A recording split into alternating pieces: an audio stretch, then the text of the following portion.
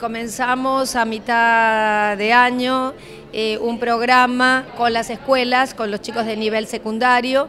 Eh, acá participan escuelas eh, estatales, escuelas provinciales, escuelas provinciales privadas. la propuesta es para todo, es musical y de teatro.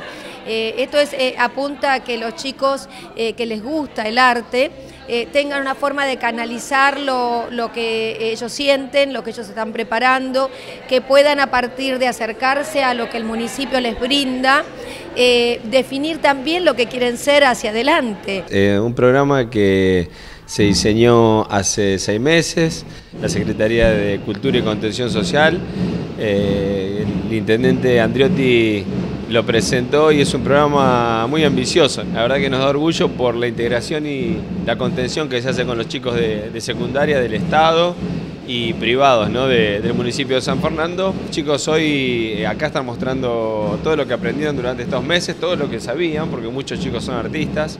Es un poco difundir el arte, la cultura, este, el sentimiento de cada chico. Estamos viendo las muestras de los chicos excelentes, creativos y la verdad que trabajar articuladamente con el municipio también nos permite mejorar y acrecentar todas las ayudas que necesitan las escuelas.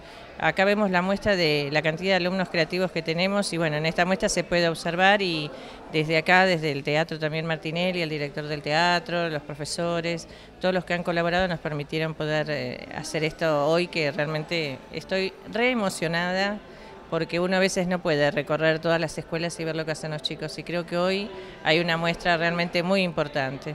Estuvo muy linda, como todas las veces que nos invitan a participar. Nosotros agradecidos de eso porque es mostrar un poco el trabajo que se hace con todos los docentes, con todos los profesionales de la escuela y para mostrar el trabajo, la rutina de los chicos y las destrezas que tienen nuestros alumnos dentro de una escuela de educación especial. La verdad inolvidable y re nerviosa, pero no, una experiencia buenísima, no me lo olvido más. Sentía que estaba haciendo las cosas bien y digo, wow, tocar en un teatro así, no, Tenía una meta que era hacer algo diferente antes de terminar el colegio y bueno, la pude cumplir tocando acá. Pareció genial porque está buenísimo.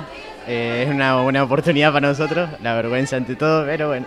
Costó un poco aprender las canciones igual, pero está bueno porque te divertís y la pasás bien. Estar acá está buenísimo porque estamos mostrando realmente lo que pasa dentro de la escuela.